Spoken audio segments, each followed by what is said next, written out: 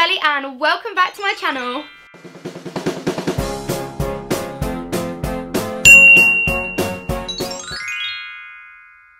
Today I'm going to be doing another video which is kind of a part of my Can I Still Do Gymnastics little series that I've got going on here.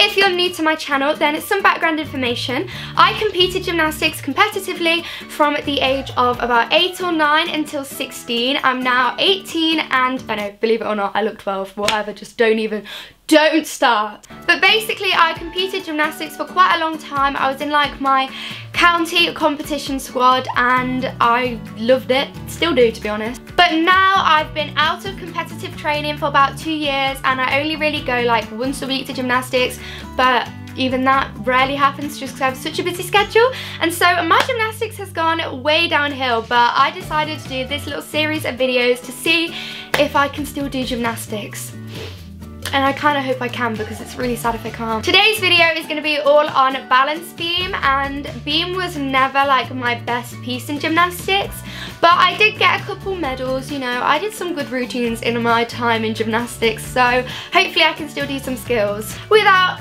any further ado, let's get started. So I'm going to be starting off with on mounts, like how you get onto the beam and I'm pretty sure I had like two or three different on mounts, maybe more, but I'm going to show you some of those and I think that this will probably go okay. So the first on mount that I'm going to do is the really simple on mount which is leg over and stand up, which I think I'll do absolutely fine. There's a reason why we got to believe in this town,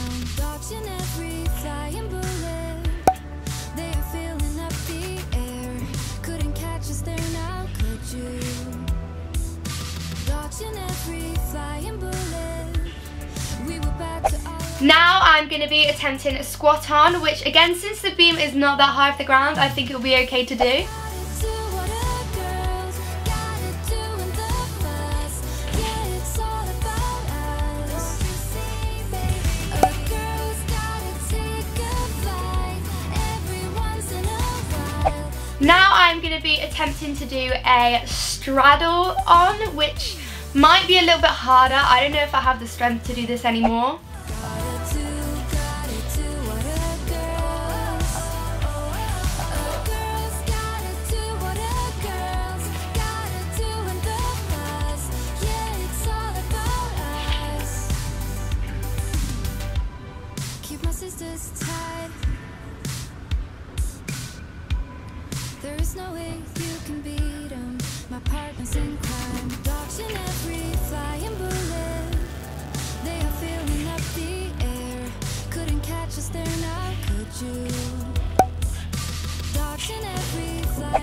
Now I'm going to be attempting a split on mount, which I actually competed this like once or twice I think, but I can't remember if it went well or not.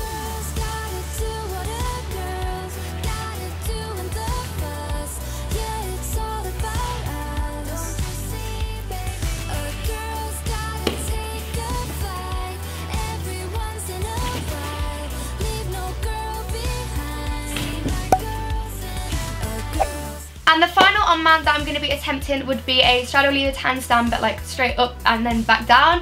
I definitely think I will not be able to do this but I'm going to give it a good shot and I'll probably do it with the beam a little bit lower down so I'm a little bit like more likely to be able to do it. I don't know, let's see.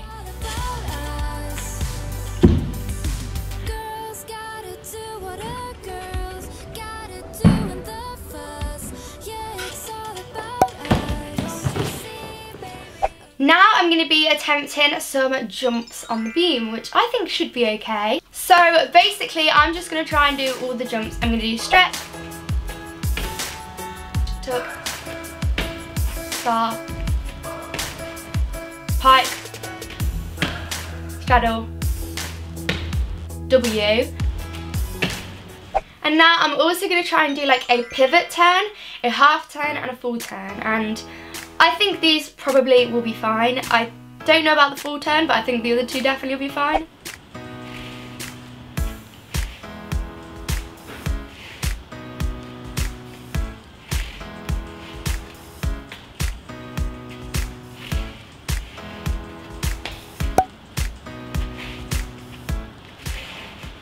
So now we're getting on to the little bit harder skills, which I don't know if I'm gonna be able to do or not. So first let's try a handstand. I actually never competed a handstand in a beam routine, but we used to do them just for fun, so it would kind of be interesting to see how that went.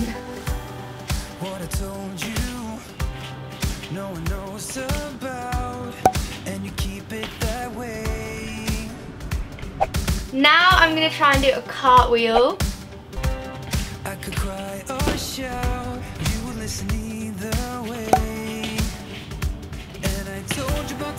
I'm gonna attempt walkovers and I'm a bit nervous about this because back walkover was always like the hardest thing for me to on beam. I literally don't know if I'll be able to do it so I don't know that's super like nerve wracking almost. I'm like too scared to do it.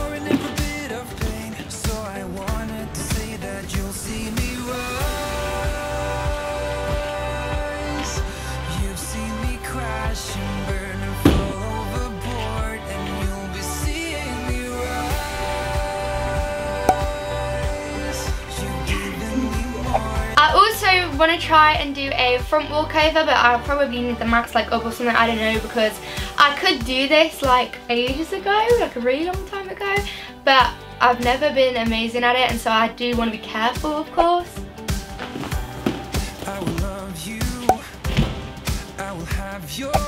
and then two of the skills which I kind of like completed but not really would be a back handspring step out and an aerial. And back handspring step out I did do on the beam at some point but like never on the high beam with no mats like that kind of thing.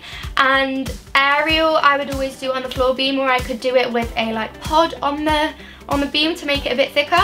But I'm gonna like kind of see what I can work with with these skills but I don't think I'll actually be able to do it of course. Like I definitely won't. What am I on about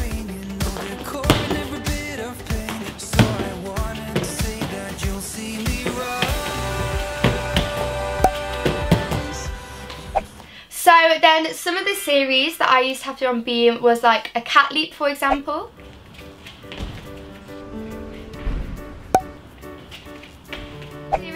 And then there was split leap, which I was always kind of bad at. I used to do tiny little split leaps, even though I've got a really good split.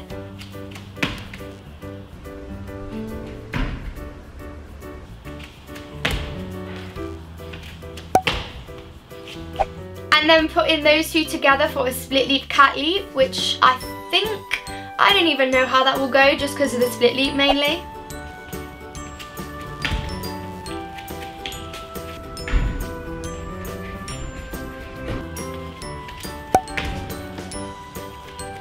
Then also we would do split leap, split jump and split leap W jump which are just kind of different series with the split leap but the split leap is kind of the issue I'm gonna guess.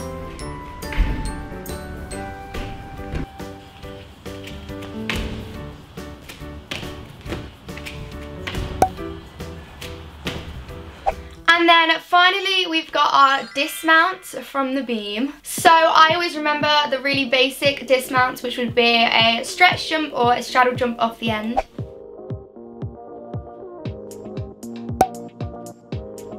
Then it was a round off off the end. And then it gets a bit more complicated because it was front summy or round off tuck back or cartwheel tuck back and I don't think I'll be able to do round off back at all but front summy is going to be extremely difficult. And a cartwheel tuck back I don't even know. I think if it was higher maybe I could but with it being low down I don't think I'll be able to make the back tuck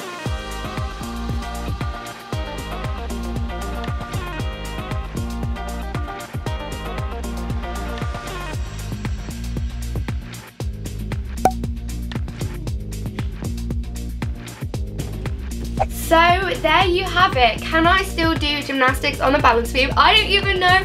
Do you know? Because I don't know. Like, I, I haven't done it yet actually, so I really don't know. But on a real guys, that is this video. I really hope you enjoyed and make sure you subscribe to my channel by clicking that big red subscribe button because you don't want to miss a thing. I post videos every Sunday and every Wednesday and if you want to be the first to know about that and if you want to see them in your subscription boxes then turn on the notifications with the notification bell icon so you don't miss a thing. I would also love it if you could stay up to date by following me on all of my social media which will be linked in the description description box below. Make sure to give this video a really big thumbs up because I'm trying to get this video to 2,000 thumbs up. So let's hit that like goal. I think that is all for now. There is nothing else left to say apart from I love you a lottie and I will see you in my next video. Bye guys!